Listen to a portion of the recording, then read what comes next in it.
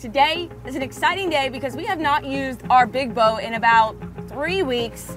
we have FOMO so bad. This is the time of year to get out there if you're gonna go deep sea fishing. Today we've got the right conditions for it. It was a little bumpier earlier this week. I think we're gonna try some trolling. You're already set up for that. See what we can catch on the troll. If that doesn't work, maybe we'll run out for some mahi mahi. It's the time of year to catch them. They're migrating. And then even bottom fishing. We have a lot of options. Yes, I, I literally haven't been on the water in like two weeks.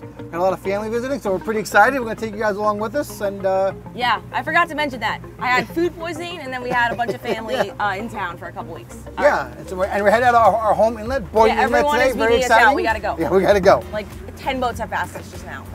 While we're yap yapping, let's go, let's go. This is the one that's fish on. All right, what's All going Is he on there? Yeah, All right, planer rod just started going off. You're I think- underneath, yeah. I think there's a small one You're underneath over here. Come over the top. like this. Yeah, there you go. Yeah, now you're clear. All right, I think I got a small fish. Good job. We got the No, lines no, out. take it back over. Come on, Sizzle. You're underneath. You gotta keep it that way. I'm underneath? Wrap the rod. Yeah, you're right there. Oh, I see him. Oh, Oh, it just came lost off. I don't know, could have actually been seaweed. It was definitely uh, very tiny. Well, that's a good sign. Better than nothing. yeah, but anyway, we got the lines out, trolling for an hour or two. I got this uh, Island Murder flyer out here, our usual spread. We catch a fish, I'll let you know. But um, no complaints. It's a beautiful morning, beautiful Friday. Flat calm. It's no longer season in Florida. There's no one out here. It's crazy. Actually, not that windy.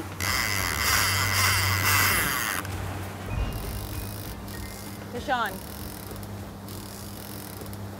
All right. All right, that's a good depth right now. All right, here we go. Slow down. Okay, planer rod just went off. That is a great thing. And we were, Keep it going, keep it going. sorry, beat it up more, or are we good? You're good. Okay. Perfect. Boat straight. We keep the boat in gear to keep tension on that rod tip. You want to make sure we keep that hook tight. The second we have any slack, fish can pull right off. Oh, he's right there. Nice fish, nice fish. All right, who's gonna do it, me or you? Me? I'll get. All right, here we go. Let me reel. I'm bananing. Let me reel. Yeah.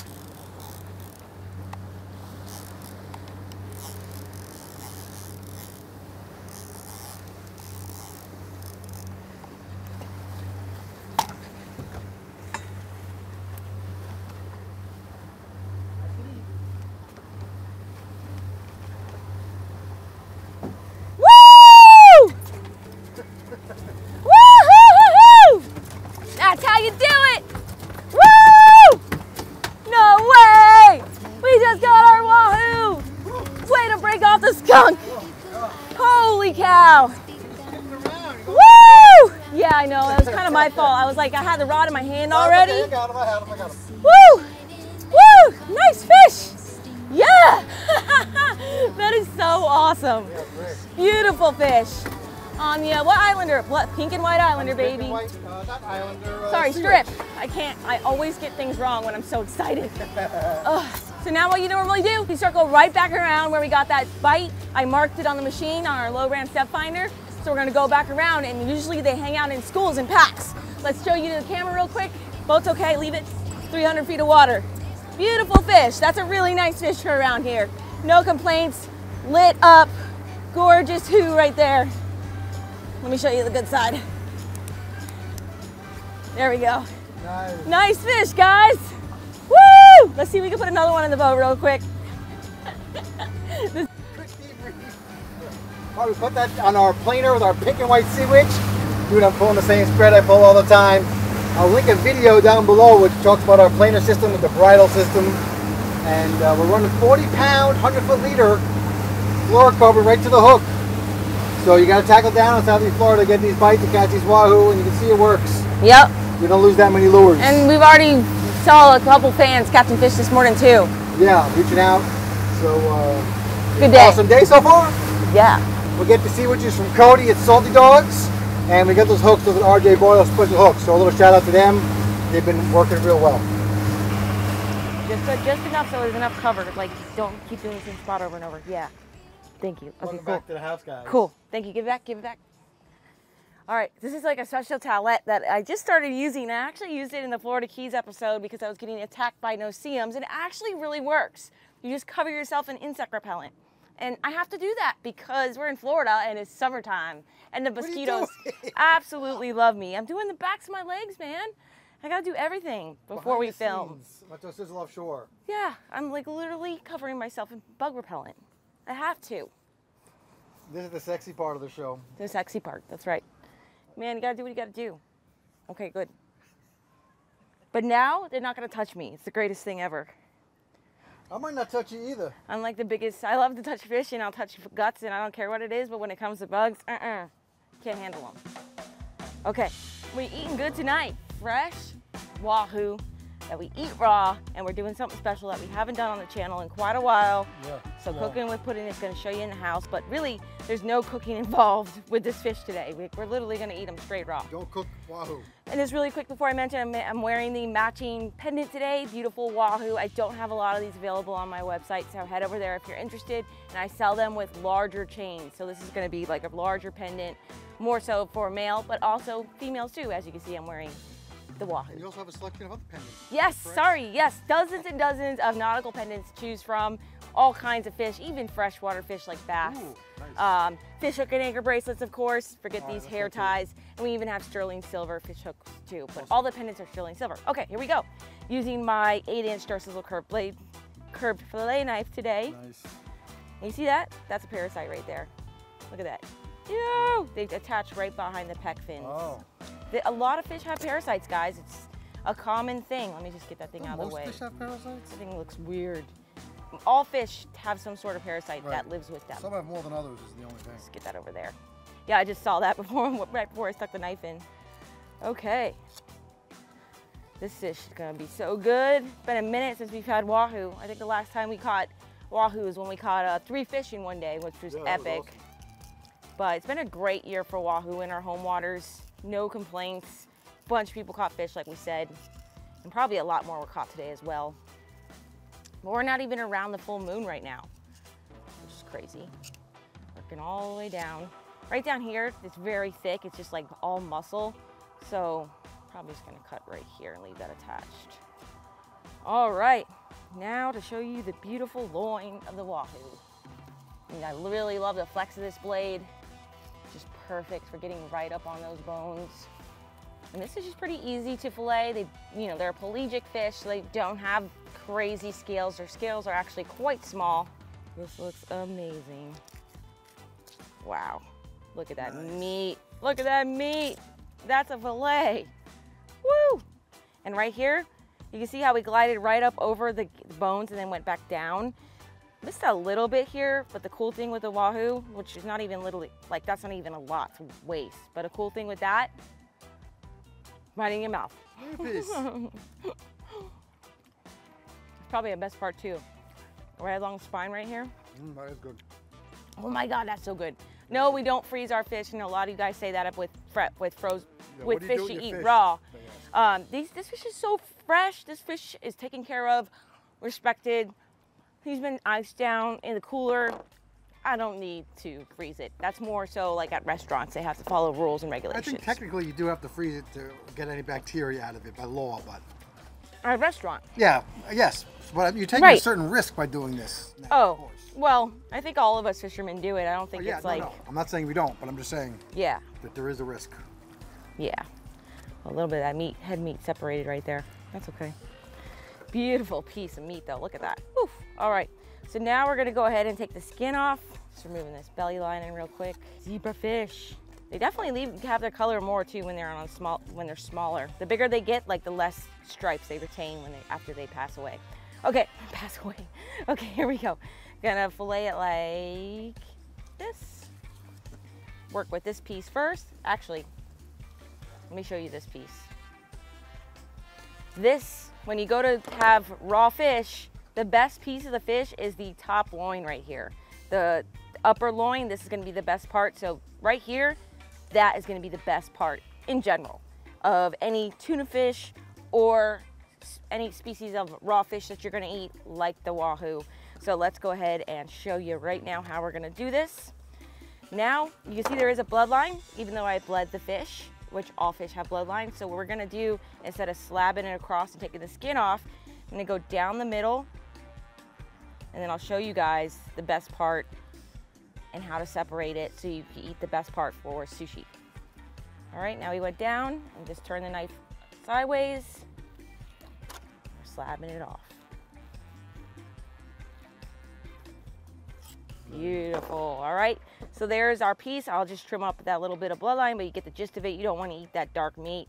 And last but not least, right here, you see this other little tiny bloodline, which is not even a bloodline, it's just More like a it's, fiber. yeah, it's more like a fiber where the uh, upper part of the fish is. We're gonna actually take that off because that piece is a little tougher and it's not the best part of the fish. Like the most lean part is going to be, show you here in just a second, but this upper fiber we'll use definitely, we'll probably sear it.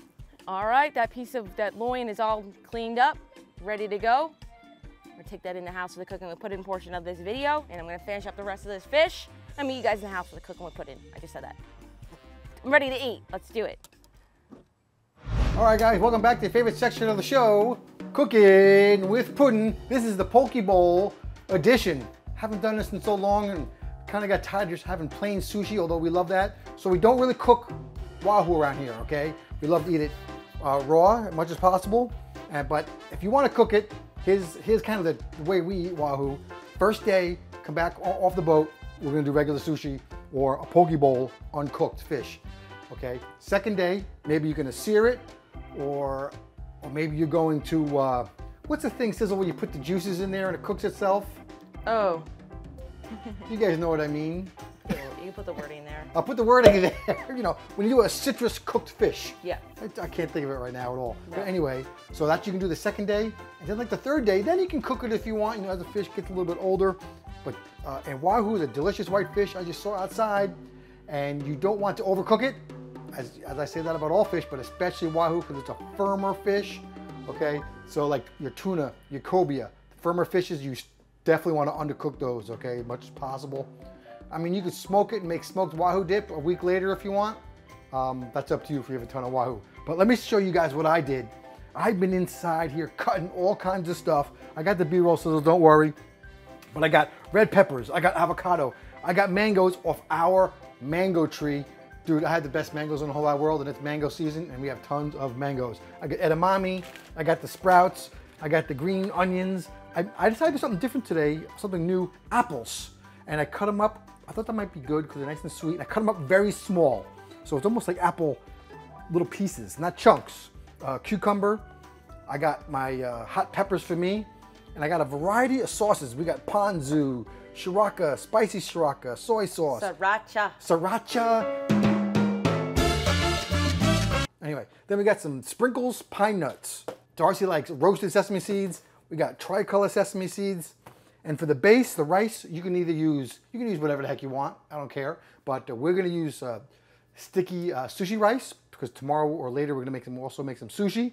It's also delicious with this meal. We just mixed that. We just mix that up. Or if you want to use brown rice, that's also a great choice on this. So Sizzle, maybe uh, I'll put some rice in here for you, and then you can make your bowl. How much rice you want? We got to fatten her up, guys. All right, let's see how you do it, Darcy Sizzle. See, we'll let Darcy do it because if I do it, I'm just going to throw a bunch of crap in there. It's not going to be very pretty. You always you always talk about pleating your fish. You're always like pleat, pleat, pleat. Yeah, I know. Sorry, my hair's up. I know. Brian hates I'm the my- only one who doesn't like Brian that. I don't absolutely dislikes my hair, so he's gonna call me Marge right now. Marge, look at a big bun like Marge. So I beat him to it. Actually, that's not enough rice. Nice. There you go. You directly told me how much rice to put in there. I know, but I couldn't see while I was filming. All right, so let's do the first thing first. Oh, when I cut the fish up, well, I'm sorry. I cut the fish up into little pieces using the uh, Smith's home set. They have all kinds of products over there. Check it out. And I Yeah. rinsed or uh, marinated some in ponzu and just some without ponzu. You try this? I didn't try it. I'm sure it's delicious. So she's gonna make it nice and neat. There you go. I got both of them, and now you just pile your stuff around it. Yeah. Pretty simple. Where are you going with the apples? I don't know. I think they're gonna be good. We're just gonna do everything. Oh, I just put red against red. That was, Uh oh, you're busting up my presentation. that was silly. Avocado. I mean, it looks really good. I mean, really. I mean, honestly. Honestly. If I'm being honest. What kind of sauce you gonna put on there? Oh. Ooh, the pine nuts. Those are good. These are really good. I need to eat these more often. I really like sesame oil. All right. No Sriracha for you. It's too heavy. Too, no, it's too hot. That's too for me. That's for me. Woohoo! All right, I'll make my bowl. We'll taste it up. Looks good, Sizzle. All right, we're back. I made my bowl. Get the picture, Sizzle. I am. You like make sure you have your beer. I'm Like I need to go get another one. Because you're an alcoholic. Ryan telling me about his beer. He doesn't. He didn't even drink it yet. I'm not from Florida. Drink it. He's a drinker. He's a beer champion, not me. beer chairman. I was beer chairman at fraternity. If you were from Zeta, Zeta Beta Tau in 1990, then you know how awesome I am. Anyway, And champion. Not champion. Mm-hmm. They don't do champions. You're like the fastest drinker. I was fast at a lot of things, but not drinking. not running. Really yummy. Super healthy. Mm. All right, that's the most delicious thing I've had in a long time. I have to put it down. That's what you should have every day. I know. I have to put it down because I'm ready to eat and I gotta get off this video. All right, delicious. I put a little bit too much Sriracha sauce on there. Yep. And the great thing about it is you literally just do and buy whatever the heck Anything you want. you want for your own bowl. You. Like everything's a poke bowl. These are just cool. ideas. Pretty cool. Exactly. And I Well, we bought what we wanted. So Exactly. there you go. But thank you guys for joining us on today's adventure. And until our next one, follow your dream and, And keep, keep on on catching. catching. Down it. Hmm. Down it. Let's eat. You should down the beer.